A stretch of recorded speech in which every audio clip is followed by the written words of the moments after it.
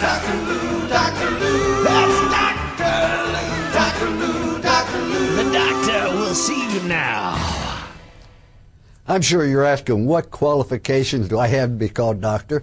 Well, I did graduate in the lower half of my high school class, and it was a rather stupid class overall.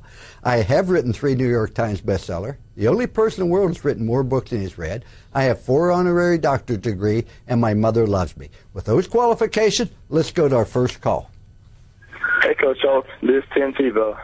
You know, there's a lot of talk about me winning second Heisman Trophy, but I really like to lead the Gators to a SEC championship.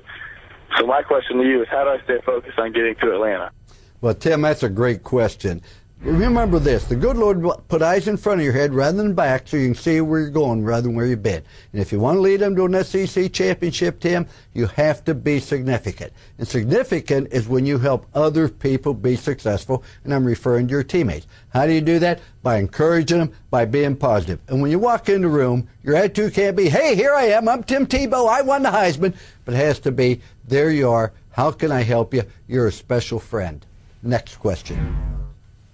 Coach Holtz, I guess I should say Dr. Holtz. This is Lloyd Carr in Ann Arbor, Michigan. Since I retired from coaching, my putting and chipping have been dismal. And I'm hoping that you might have some advice to help me improve my game. Well, I can't help improve your chipping and putting any more than I can help you as a coach because you're outstanding. But I can give you some advice. When you go to the course, Lloyd, take your wallet. Those three foot putts the alumni gave you when you were winning as a coach, they ain't going to do it anymore. And I also want to say this, Lloyd.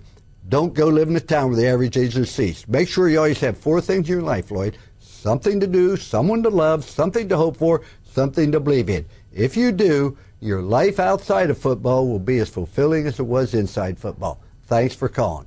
And now our closing thought for the week. If you want some great advice, don't ask Dr. Lou. Ask your spouse. There's no one who loves you anymore, wants to see you succeed anymore, be any more honest with you. My wife's not only somebody I love dearly, she's my best friend. And remember this, behind every successful person stands a very surprised mother-in-law. See you next week.